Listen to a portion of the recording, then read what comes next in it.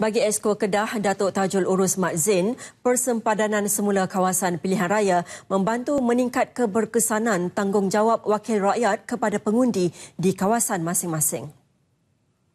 Perkara ini dibuat kajian oleh pihak SPR bertujuan untuk memberi uh, keberkesanan yang baik kepada wakil-wakil rakyat yang akan berkhidmat uh, di DUN ataupun di kawasan masing-masing.